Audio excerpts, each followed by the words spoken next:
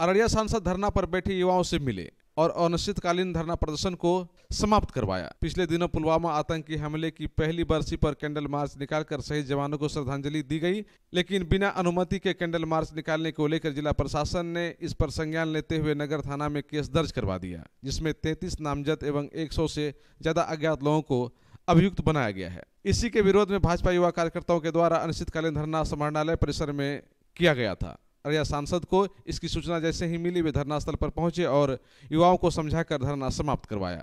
इस संदर्भ में अररिया सांसद ने कहा कि वे बहुत जल्द अररिया एसपी और बिहार के डीजीपी से बातें कर इस मामले को समाप्त करवाएँगे। देखिए, मुझे मालूम है कि कल राष्ट्र रक्षा समिति के सदस्य लोग कल से बैठे हुए हैं धरना पर, और यह बड़ी दुखद बात है कि राष्ट्र में हमारे शहीद हुए सेना और उनका बरसी मनाने के लिए, उनको श्रद्धांजलि देने के लिए कैंडल मार्च निकाला और उस पर एफआईआर होना, यह दुर्भाग्यपूर्ण बात है। मुझे लगता है यह जो एसपी है, निश्चित रूप से ये वामपंथी मानसिकता का है और इससे ज़्यादा घृणित बात क्या होगी? रोज लोग धरना प्रदर्शन दे रहा ज़िले में। ये कारगिल चौक में लोग बैठ करके धरना दिया करता था, बिना प्रमोशन का, उस पर एफआईआर नहीं होता है।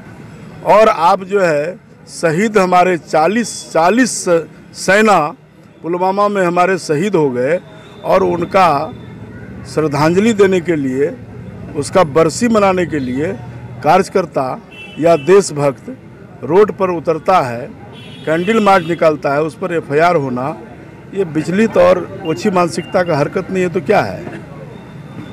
और एसपी को लगता है कि जिला मैं ही चलाती हूँ तो गलतफहमी में न है।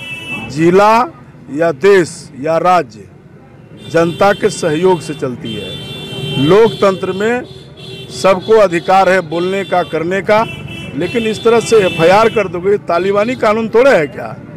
देश उन्नीस सौ सैंतालीस में आज़ाद हुआ है, अंबेडकर जी का संविधान बना है, हम संविधान के रक्षक हैं, और कानून से बाहर चलेगा कोई? मैंने सरकार में बात को रखा है। कल डीजीपी साहब से भी कहा, सब लोगों से कहा है। और सरकार कार्रवाई करेगी ऐसे अधिकारी पर।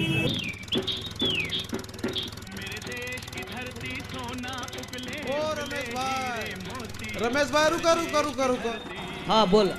ए रमेश भाई थोड़ा हमरो गाड़ी के टोचन करी के सर्विस सेंटर तक पहुँचा देना मेहरबानी करी के। की बताइयो रमेश भाई? दस दिनों से कंप्लेन करी रखलो छिए अभी तक कोई नहीं लो छे रोज कहे छे रोज यही बात। आज छिए त काल जाय छिए आज जाय छिए त काल जाय अभी तक कोई नहीं एले। परेशान भए गेलो छिए की बताइयो रमेश भाई? ई हम अपनो के चक्कर में पड़ी के कौन कंपनी के गाड़ी खरीदी लेलो छिए ने तो गाड़ी ठीक छे और ना ही सर्विस ठीक छे। हमें तो परेशान परेशान भए गेलो छियो। तोरा कहलियो न हमें महाकाली डिस्ट्रीब्यूटर जो, अब महिंद्रा ट्रैक्टर ले कहिए लेकिन तू तो बात मान लेना। आ करी दिला ने बुढ़वा की अखन यो मौका छो। महाकाली डिस्ट्रीब्यूटर जो एक्सचेंज ऑफ़र में 200 ट्रैक्टर लाके आई। मोबाइल घुमावे और सारी सेवाएँ घर बैठे पावे। अब हमरा देखे ट्रैक्टर से जुड़ल कोई चिंता कभी नहीं।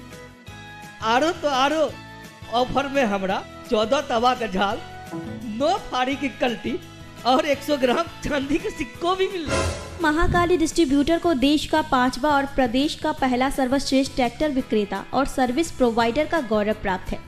आज ही पहुँचे कप्तान पारा पूर्णिया के Mahakali distributor.